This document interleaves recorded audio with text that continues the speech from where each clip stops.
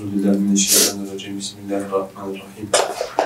Elhamdülillahi rabbil alamin. Ve salatu vesselamu ala resulina Muhammedin ve ala alihi ve sahbihi ecmaîn.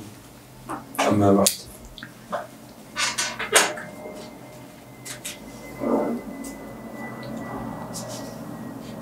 Şimdi 8. ve 9. hadisleri gördük. Bu hadislerden anladığımız maddeleri anlattık.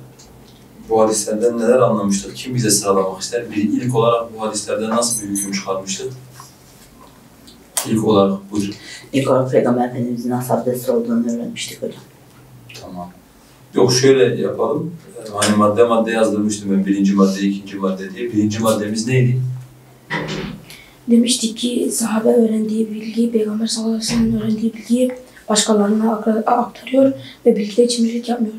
Tamam. Bu birincisi. Bir de yanına neyi eklemiştik? Bir ek daha eklemiştik yanına. Buyur.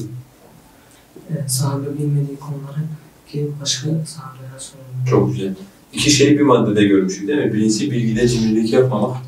Hayır olarak öğrendiklerimizi başkalarına aktarmak. İkincisi bilmediklerimizi sorup e, güzel bir şekilde öğrenmek. İkinci maddemiz neydi? Bu hadisten öğrenmiş olduğumuz ikinci madde.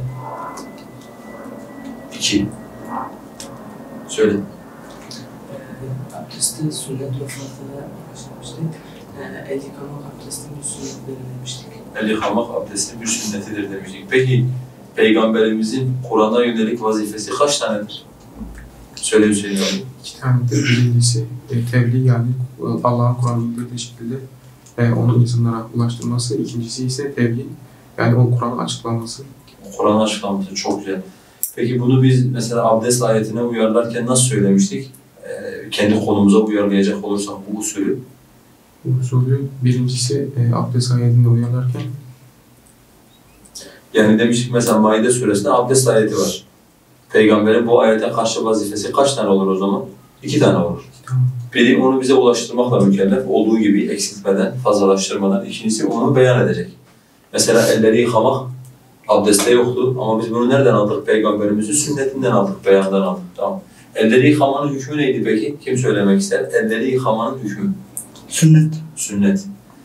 Ee, bu ayet kerimede var mıydı? Yok. Yoktu. Nereden almıştık bunu biz? Hadisten. Hadisten almıştık. Tamam. Peki ağza buruna su vermenin hükmü neydi? Söyle. Farz. Nereden çıkardık bunun farz olduğunu? Delilimiz ne bu konuda? Ayette. Ayeti ezberledin mi? Ezberledi. Tamam. Oku bakalım ayeti.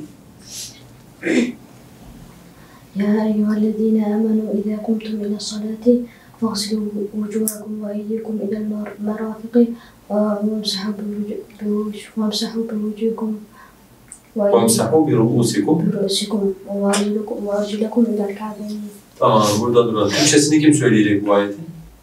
Söyle. Ey iman edenler namaza kalktığınız zaman e, yüzlerinizi yıkayın, ellerinizi e, dirseklerinize kadar yıkayın, başlarınızı mesedin ve ayaklarınızı topuklarınıza kadar yıkayın. Çok güzel. Ağız, yüz, ağızla burun geçiyor muymuş? Ayette geçmiyormuş. Ayette dört şey vardı değil mi? Ee, yüz, eller dirseklere kadar başları mesletmek ve ayakları yıkamak.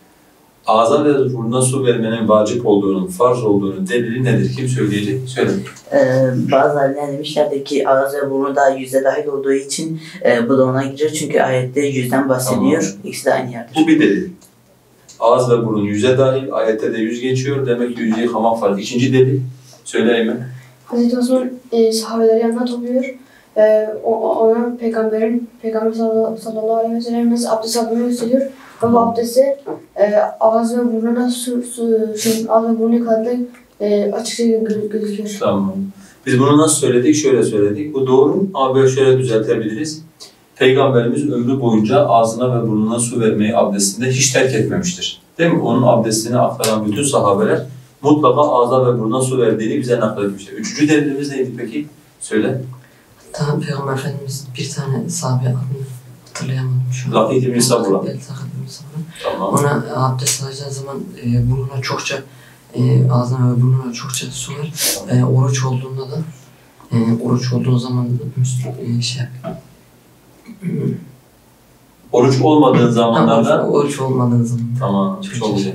Bir de ne demişti orada? Abdest aldığında madmada yap. Bir de demiş ki emir neyi gerektirir? Emir vücubiyeti gerektirir. Tamam. Başka neyi görmüştük? Yüzü yıkamak demiştik Yüzü yıkamanın farz olduğuna dair delilimiz neydi?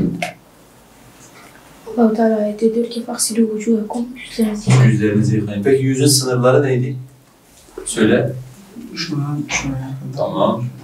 Şuradan şuraya, buradan buraya kadar olan kısım yüzümüzün şeyleriydi, yüzümüzün sınırlarıydı. Burada durmuştuk. Öyle değil mi?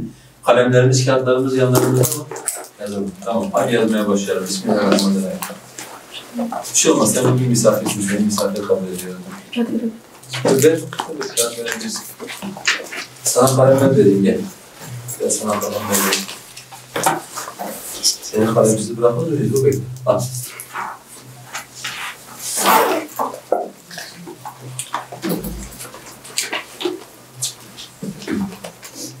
Dört, elleri dirseklere kadar yıkamak. Dört, elleri dirseklere kadar yıkamak.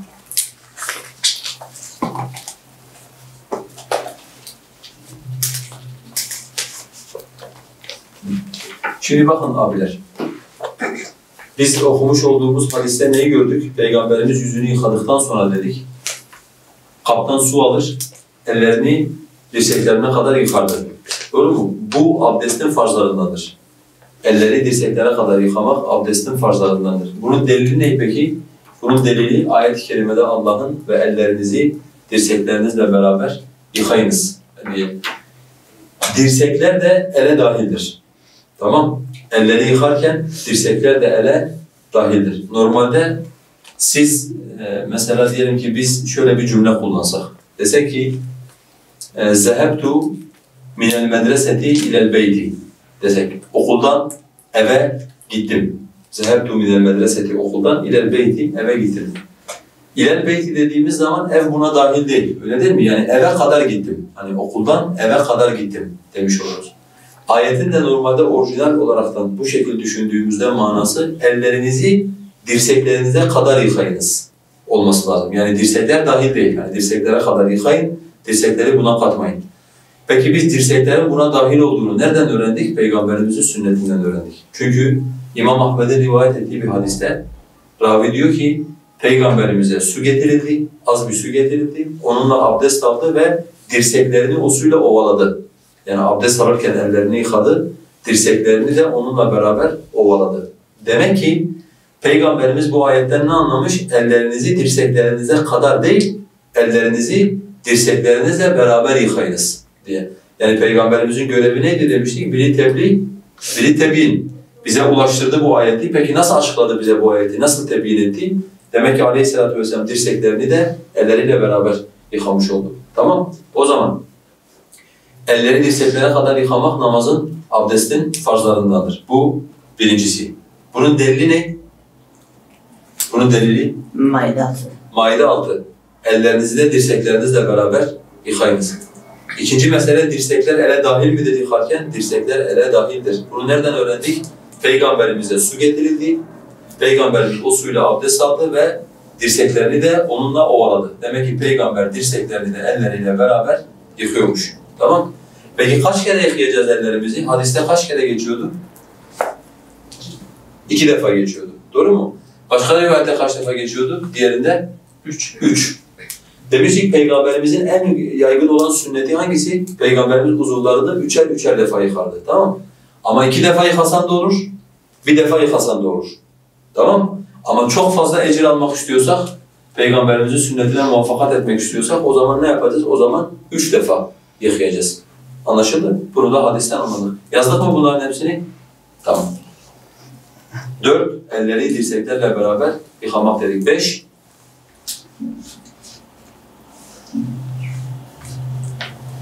saçları meshetmek.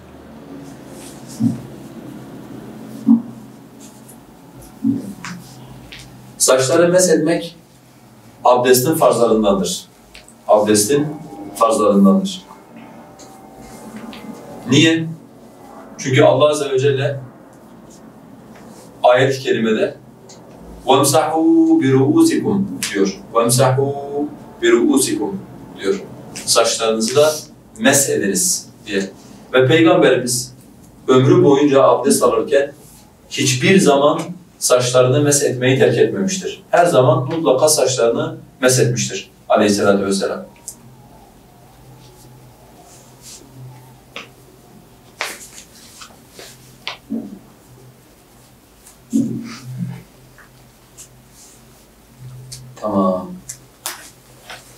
Şimdi burada bazı sorular soracağız. Ee, bu soruların cevabını alacağız. Bunlardan birincisi saçlar nasıl mes edilir? Yani sünnet olan saçı nasıl mes etmektir diye. Söyle. Buradan başlayayım. Tamam. Geriye kadar ta, e, bitene kadar saçın geri e, kadar nasıl sonra geleceğim? Geri çevireceğiz. Şimdi şöyle söyleyelim. Sünnette Peygamberimiz iki şekilde saçlarını meshetmiş. Aleyhisselatü Vesselam'ın sünnetinde. Bunlardan birincisi nedir? Bunlardan birincisi bizim geçen dersimizde gördüğümüz Bukhari ile Müslüm'ün rivayet ettiği Abdullah İbni Zeyd'in hadisi. Ne diyordu o hadis-i şerifte? Peygamber aleyhissalatu vesselam saçının bede'e bi mukaddemi ra'sihi başından başladı, başının başlangıç noktasına hatta zehebe bihime ila kafa. Ta ki kafasının arka tarafına ellerini götürünceye kadar. ثُمَّ رَدَّهُمَا Sonra iki elini geri çevirdi. اِلَى الْمَكَانِ الَّذ۪ي بَدَأَ مِنْهُ Başladığı yere geri çevirdi. Tamam Bu birinci şekil. Ellerimizi ıslatıyoruz. Hafif şöyle götürüyoruz. Komple bakın saçın hepsini meshetmiş oluyorum böyle yaptığım zaman. Tamam Sonra tekrardan geri getiriyorum. Bu birinci şekil. İkinci şekil İmam Ahmet bir kadın sahabine rivayet ediyor. Rabi' binti Muavviz isminde bir e, hanım sahabi diyor ki Peygamberimiz bizim yanımızda abdest aldı. Ona su getirildi. Saçlarını mesetti. Saçlarını şuradan başlayarak mesetti. Şuradan.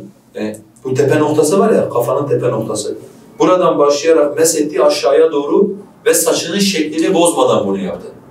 Yani mesela diyelim ki burada asıl olan ne? Buradan başlıyorsunuz. Şöyle.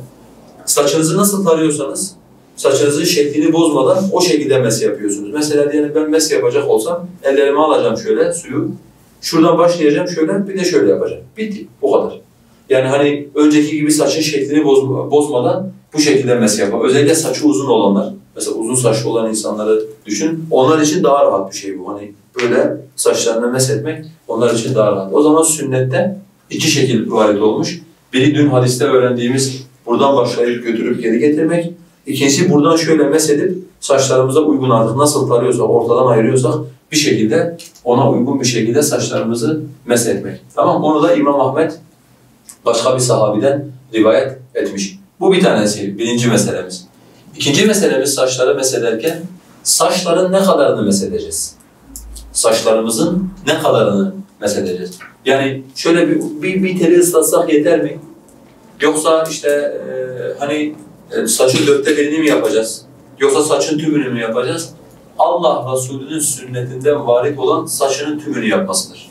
Allah Resulü'nün saçının bir kısmını yaptığına dair e, şey yoktur. E, bir uygulaması yoktur. O sallallahu aleyhi ve sellem saçlarını mes ettiği zaman kafasının tümünü mes ederdi. Sünnete uygun olan da budur. Saçın tümünü mes etmektir. Bir başka mesele ise saçlarımızı kaç defa mesedeceğimiz. Yani kaç kere mesedeceğimiz. Şimdi dün okuduğumuz iki tane hadise de dikkat ederseniz abiler şunu göreceksiniz. Elini üç kere yıkadı, ağzına üç kere su verdi, yüzünü üç kere yıkadı, kolunu üç kere veya iki kere yıkadı, saçını mesetti. Yani adet kere geçmedi saçı mesetme konusunda. Niye?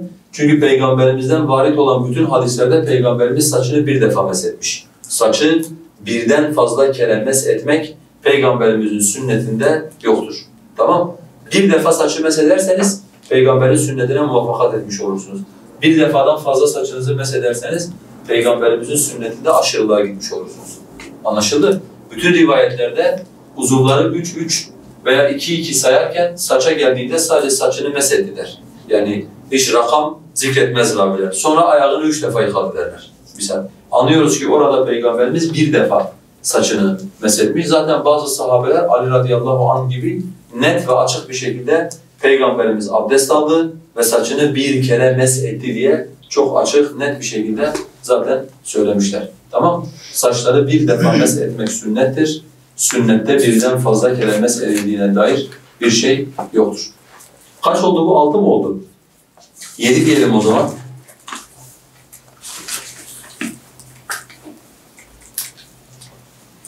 Tamam. Kulakları mes etmek. Elhamdülillah.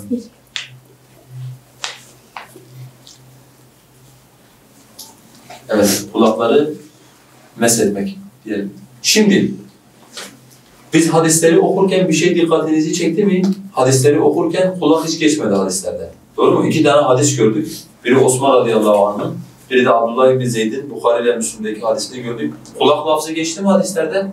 Kulak lafzı geçmedi. Peki biz niye kulaklarımızı o zaman mesediyoruz? Madem kulaklar hadislerde geçmiyor, biz niye mesediyoruz? Çünkü kulaklar başa tabidir.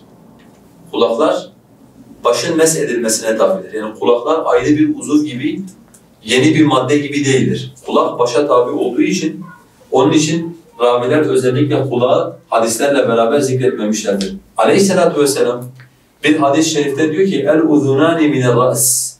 İki tane kulak baştandır. Yani başa nasıl mes etme hükmü baş için neyse kulaklar için de aynısı geçerlidir. Çünkü kulaklar baştandır diyor Peygamber aleyhissalatu vesselam. Tamam Kulaklarımızı başımıza tabi olaraktan onları da mes edeceğiz. Kulaklarımızı başımıza tabi olaraktan onları da mes edeceğiz. Şimdi burada soru. Peki kulaklarımızı nasıl mes edeceğiz? Değil mi? Şimdi saçı öğrendik. Hani şuradan başladık, götürdük, geri getirdik ve tepeden başladık, indirdik. Peki kulaklarımızı nasıl mes edeceğiz? Kulağı mes etmekte sünnet nedir? İbni Abbas ve İbni Ömer Peygamberimizin abdestini anlatırken onun kulaklarını mes etmesini şöyle anlattılar. Dediler ki Peygamberimiz saçını mes ettikten sonra baş parmaklarını kulağının içerisine geçirdi. Estağfurullah işaret parmaklarını kulağının içerisine geçirdi şu şekilde. Tamam? Sonra baş parmaklarını da kulağının arkasına getirdi şu şekilde. Görüyor musunuz hepiniz? Baş parmaklar burada, e, işaret parmakları kulağın içerisinde, baş parmaklar ise kulağın gerisinde. Bakın şuradan gösteriyorum. Size de şuradan gösteriyorum. Şu şekilde. Tamam Sonra ne yaptı? Sonra şu şekilde yaptı. Şöyle. Görüyor musun sen Kubilay abi? Şöyle. Şöyle. Tamam Abdestte kulakları meshetmenin sünneti budur. Baş parmakları kulaklarımızın içine koyarız. Ee, işaret parmaklarımızı estağfurullah karıştırdık bugün. Baş parmağımızı da kulağımızın geri tarafına koyarız.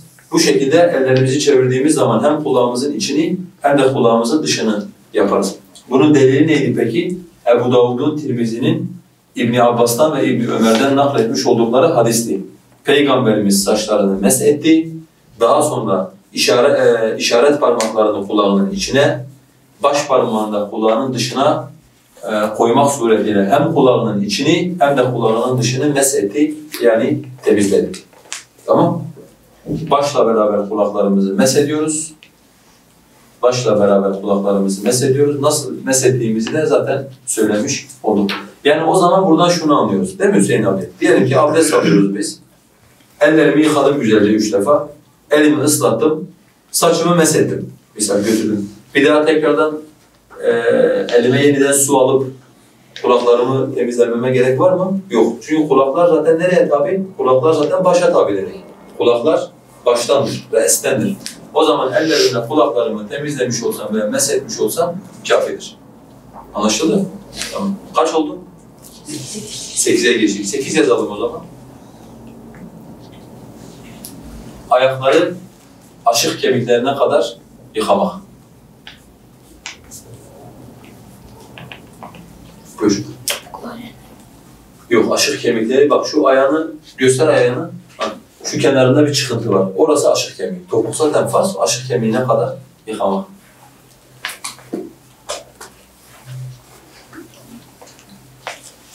Tamam.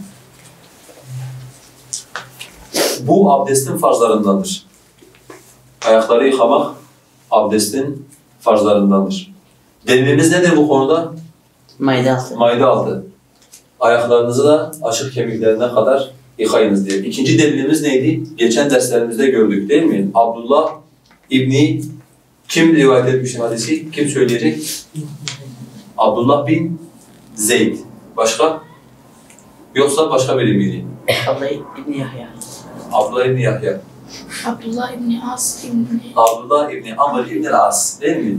Amr İbni As'ın oğlu Abdullah. Zaten biraz daha söyleseydiniz sahabe kalmayacaktı. Bütün Abdullah'ları saymış olacaktı.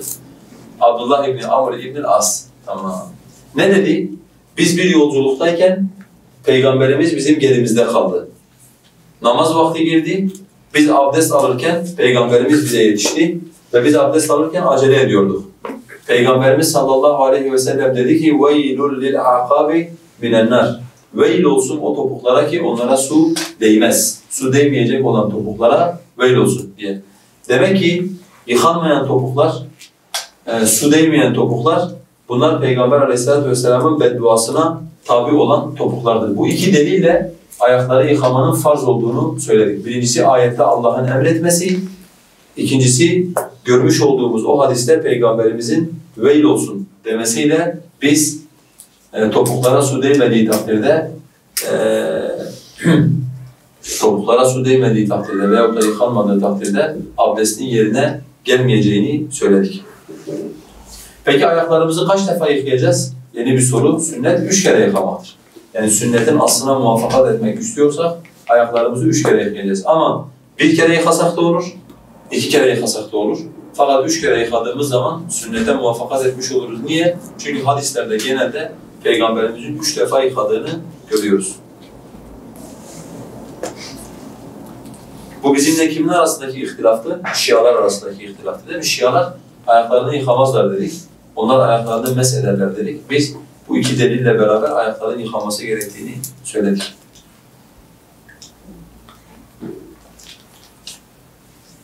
Bir madde daha yazalım. Kaç oldu? Dokuz.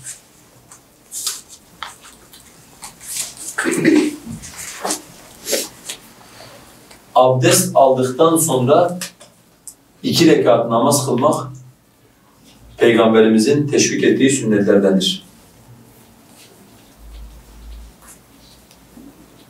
Bunu nereden çıkardık kardeşler? Hadiste Osman radıyallahu anh ne demişti?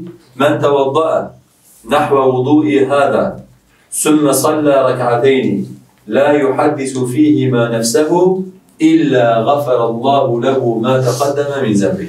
Tamam? Kim benim abdest aldığım şekilde abdest alır. Sonra iki rekat namaz kılar ve o iki rekat namazın içerisinde içinden konuşmazsa eğer Allah onun geçmiş günahlarını affeder. Başka bir hadiste Peygamber aleyhissalatu vesselam diyor ki kim, bunu da İmam Müslim rivayet ediyor, abdestini güzel bir şekilde alır. Abdestini aldıktan sonra da güzel bir şekilde namazını eda ederse cennet ona vacip olmuştur diye. Yani Allah Azze ve Celle cenneti ona vacip kılmıştır. Başka bir hadiste bunu da İmam Bukhari rivayet ediyor. Peygamber aleyhissalatu vesselam bir gün Bilal'e dedi ki, ey Bilal bana yapıp da Allah katında en çok sevap umduğun amelini söyler misin? Peygamberimiz kime söylüyor bunu? Müezzini Bilal'e söylüyor. Ey Bilal bana yapıp da Allah katında en çok sevap umduğun amelini söyler misin? diye. Çünkü ben cennette senin ayak seslerini kendi önümde işittim. Yani Peygamberimiz cennette yürürken bakmış önünde bir ayak sesleri geliyor, bir terlik sesi geliyor. Sormuş demiş bu kimin ayak sesleridir? Demişler Bilal'in ayak sesleridir. Peygamberimiz de merak etmiş. Demiş yani bu ne yapıyor ki acaba? Hani benden cennete daha önde yürüyor. Yani mutlaka güzel bir amelin olması lazım. Onu Bilal'e soruyor şimdi. Ey Bilal bana yaptığında Allah katında ecir almayı en çok umduğun ameli söyler misin? diye. Bilal dedi ki ey Allah'ın Resulü vallahi ben hiç abdest almış olmayayım ki mutlaka onun akabinde Allah'ın dilediği kadar namaz kılarım diye. Yani gece veya gündüz fark etmez. Ne zaman abdest alsam abdestin akabinde mutlaka Allah'ın dilediği kadar iki rekat, dört rekat, altı rekat neyse yani gücümün yettiği kadar namaz kılarım demiş. Biz bu hadislerden ne anladık o zaman? Biz bu hadislerden şunu anladık. Bir Müslüman abdest aldıktan sonra eğer iki rekat namaz kılarsa bu onun günahlarının bağışlanması, onun cennetin ona vacip olması ve aynı zamanda cennette ayak seslerinin Peygamberimizin önünde olması gibi güzellikleri ona beraberinde getirir. Tamam Özellikle özellikle Mesela diyelim ki e, bu sünnet genelde terk edilmiş sünnetlerden bir tanesi. Terk edilmiş veya ölmüş sünnetlerden bir tanesi. Bizim vazifemiz nedir kardeşler? Bizim vazifelerimizden, bizim vazifemiz tevhidi ihya ettiğimiz gibi aynı zamanda sünneti de ihya etmektir. Doğru mu? Çünkü bizim davetimiz, bizim insanları kendisine çağırmış olduğumuz şey iki şey üzerine bina edilir. Biri tevhid, tevhidi ihya edip şirki yeryüzünden iptal etmek. İkincisi sünneti ihya edip bidatı yeryüzünden izale etmek üzerinden kurulur. Zaten bu neyin içeriğidir? La ilahe illallah Muhammedun Resulullah'ın da içeriği budur. La ilahe illallah dediğinizde tevhide evet, şirke hayır diyorsunuz.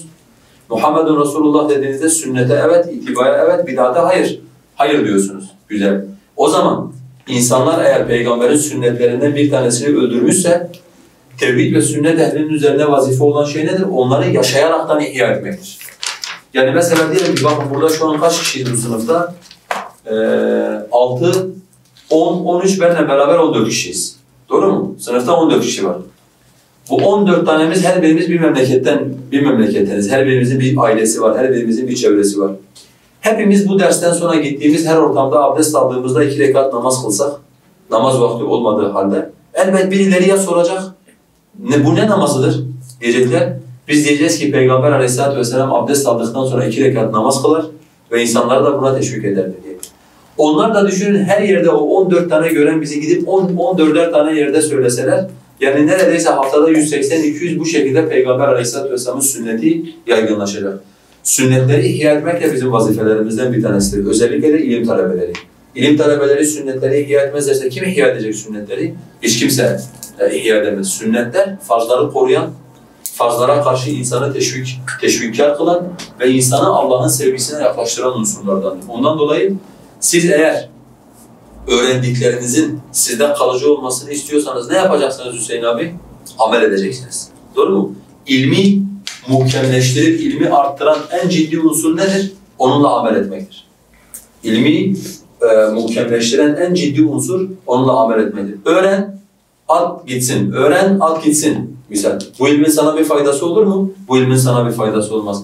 Bakın kardeşler şunu hiçbir zaman unutmayın. Hiçbir zaman bunu unutmayın. İlim iki kısımdır. Faydalı ilim ve faydasız ilim. Biz bu ayrımı kimden öğrendik? Biz bu ayrımı peygamberimizden öğrendik. Çünkü peygamberimiz sürekli Allah'tan faydalı olan ilmi istedi, faydasız olan ilimden de Allah'a sığındı. Peki faydasız ilim hangisidir? Seni amele teşvik etmeyen ve sende Allah korkusunu artırmayan her türlü ilim faydasız ilimdir. Öğrendikçe Rabbini daha fazla seviyorsan, daha fazla ona karşı ondan korkuyorsan, ona daha fazla yakınlaşıyorsan bu ilim faydalıdır. Fakat eğer bunların hiçbiri söz konusu olmuyorsa bu ilim faydasız ilimdir. Allah muhafaza. Onun için siz istiyorsanız ki ilminiz faydalı bir ilim olsun, amel edeceksiniz onunla. Amel edeceksiniz. Allah'tan korkacaksınız o ilim hakkında. Allah da size bilmediklerinizi öğretecek. Allah diyecek ki benim bu kulum öğrendiklerinde samimi olduğu için ben kulumun bilmediklerini kuluma bu sefer ben öğreteceğim diye. Yoksa kendisiyle amel etmediğimiz, kendisi bizi Allah'a yaklaştırmayan ilimden Allah'a sığınmamız lazım. Çünkü bu ilmin bize ne dünyada ne de ahirette hiçbir faydası yoktur. Demek ki buradan neyi öğrendik? En azından bugün, en azından yani asgari olaraktan abdest aldığımız zaman iki rekat namaz kılmaya gayret edelim. Ta ki Allah'a samimiyetimizi, sıdkımızı gösterelim ki biz öğrendiklerimizle amel etmek istiyoruz. Tamam mı kardeşler? İnşallah. Bakalım hadislerimizden başka bir şey kaldı mı geriye? Yok hadislerimizden başka bir şey geriye kalmadı. Diğer bölümleri de diğer hadislerde inşallah beraberce göreceğiz. Bu anlatmış olduğum maddelerden soru sormak isteyen var mı? Buyur. Mesela e, hani üç, e, ilinde üç e, mesela namaz e, yasaklanmış ya üç mesela şimdi Üç vakitte. üç vakitte. Tamam. O zaman da kılsak Olur. olur. Hani Peygamberimiz diyor kardeşimiz üç vakitte namazı yasaklamış. Doğru mu? Hangidir o vakitler? Biri güneş tam e, doğduğu zaman bir mızrak yükselinceye kadar. İkincisi güneş tam tepede dikildiği zaman. Üçüncüsü ikindi namazından sonra güneş artık sararmaya yani batmaya yüz tuttuğundan batıncaya kadar. Buna ne vakti diyoruz? Kerahat vakti diyoruz. Tamam Buna namaz kılmanın kerih olduğu vakitler diyoruz. Bu vakitlerde abdest aldığımız zaman sünnet namazı kılabilir miyiz? Evet. Bu vakitlerde yasaklanan namaz sebepsiz kılınan namazlardır. Bu vakitlerde yasaklanan namaz sebepsiz kılınan namazlardır. Yani hiçbir sebep yok.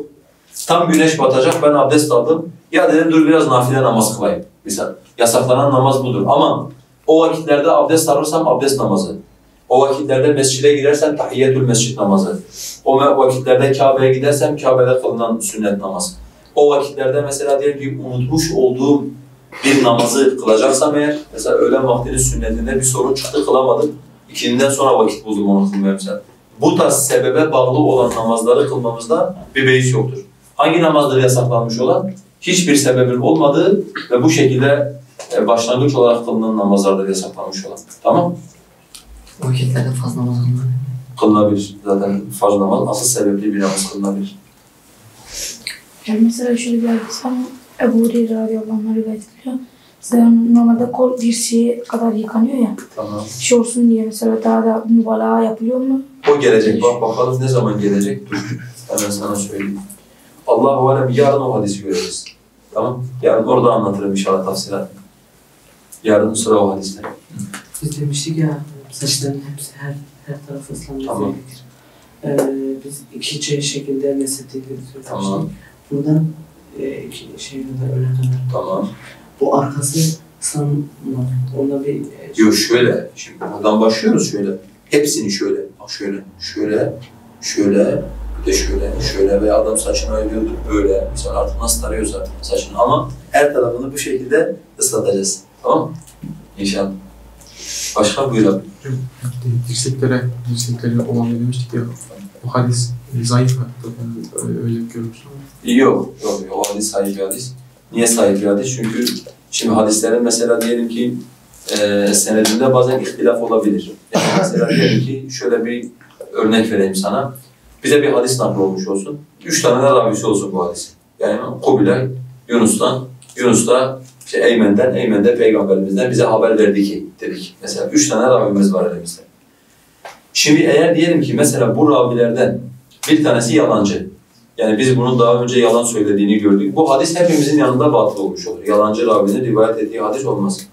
Veya diyelim ki bu adam karıştırıyor hadisleri birbirine. Allah bulak ediyor yani hafızasında problem var. Mesela kesin ama bu.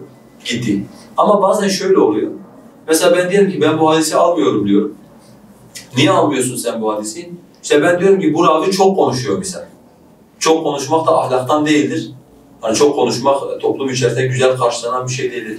Şimdi bak bu göreceli bir şey olmuş oldu. Burada hadiste bir problem yok. Ravinin bir ahlakında bir problem var. Bazı alimler çok böyle hassas oldukları için bu tarz hadisleri de kabul etmemişler. Kim gibi mesela? İmam Bukhari gibi değil mi? İmam Bukhari bakmış adamın biri adına yem verirken yalan söylüyor. Hani onu kandırmak için hani ye ye böyle tarzında bir şey söylüyor. Atı kandıran beni de kandırır demiş. Misal. Ama şimdi bu her zaman böyle olacak diye bir kaydı yok. Yani bir insan ata yem verirken belki hiç aklının ucundan bile geçmemiştir bu. Ama normal hayatında dürüsttür. Fakat hadis konusunda çok şiddet olan, yani çok dikkatli olan, sık eleyen alimler bu tarz rivayetleri de kabul etmemişler. Mesela bir, bir haravi var, hani benim şu an aklımda olan, Allah-u Alem Behz İbni Hakim olması lazım. Bunun çok hadisi var sünenlerde. Bazı alimler bunun hadisini kabul etmemişler. Mesela biz sormuşuz en son demişiz siz niye bu adamın hadisine zayıf diyorsunuz? Demişler çünkü bu satranç oynuyordu. Şimdi satranç oynamak ihtilaflı bir mesele zaten. Tamam Mesela satranç oynamaya haram diyen birine göre bu fasık olduğu için tamam bunu rivayetini almayabilir anladık. Ama bana göre diyelim ki satranç oynamak haram değil. Misal bununla ilgili sa- sahih kesin olan bir nas varit olmamış e, diyorum misal. Bu tarz hadislere kesin zayıftır e, demek bu doğru değil. Hangi hadislere kesin zayıftır diyebiliriz? Mesela diyelim ki bir hadis vardır, herkesin üzerinde ittifak ettiği zayıflığı gerektirecek olan bir durum vardır. İnşallah bunları hangi derste göreceğiz ileride? Mustalahul hadis dersinde göreceğiz. Değil mi? Mustalahul hadis diye bir ilim var. Ne anlatıyor mustalahul hadis ilmi? Ya zayıf hadis nedir? Sahih hadis nedir? Hasen hadis nedir? Bunlarla nasıl e, amel edilir? Zayıf ravi kimdir? Yalancılık nedir? E, kötü hıfız nedir? gibi. Bunların hepsini mustalahul hadis dersinde göreceğiz. Tamam Sen muhtemelen onu Buluğul Meram'da görmüşsündür. Bu hadis zayıftır e, diye. Allahu alem. Ee, hemen mesela Arapça şeyine baksan, Arapça metnine baksan daha farklı bir şey var. Muhtemelen dipnottaki veyahut da işte Türkçesini çeviren öyle bir şey e, söylemiştir. Ama Arapçasında daha farklı bir ifade var. Ben yanlış hatırlıyor olabilirim.